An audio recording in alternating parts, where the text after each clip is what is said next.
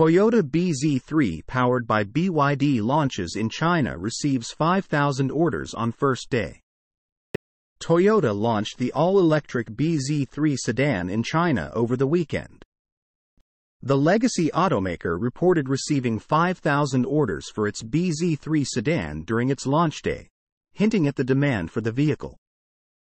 The Toyota BZ3 uses BYD's blade-shaped batteries and motor powertrain. The electric mid-sized sedan is built on BYD's ETNGA platform, similar to Toyota's BZ4X SUV. It has BYD's lithium iron phosphate battery cells and Fudi Motors electric motor. Fudi Motor is a BYD subsidiary. BZ3 is built and distributed by the FAW Toyota joint venture. FAW Toyota offers two BZ3 models. The base BZ3 starts at RMB 169,824,679.16 which has an estimated range of 517 kilometers.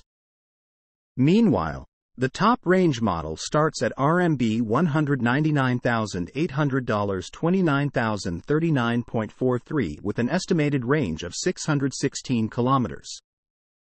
The Toyota BZ3's battery ranges are based on the CLTC test cycle, usually higher than EPA estimates. Tesla's production innovations are influencing Toyota's EV strategy.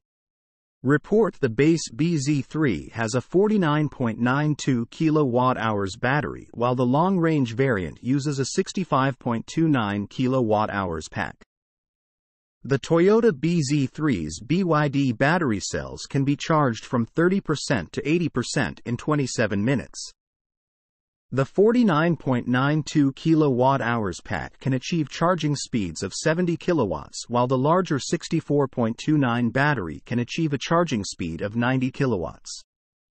For comparison, the Tesla Model 3 in China is also sold in two variants. The RWD version and the dual-motor AWD performance model.